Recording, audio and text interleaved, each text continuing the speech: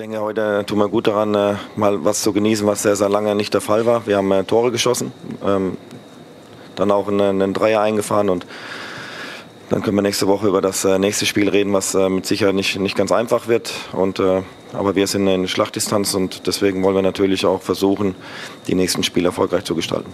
Bei uns war dann das Gefühl, oder zumindest war so mein Eindruck, dass, man, dass die Mannschaft mal wieder im Kopf hatte, was verlieren zu können.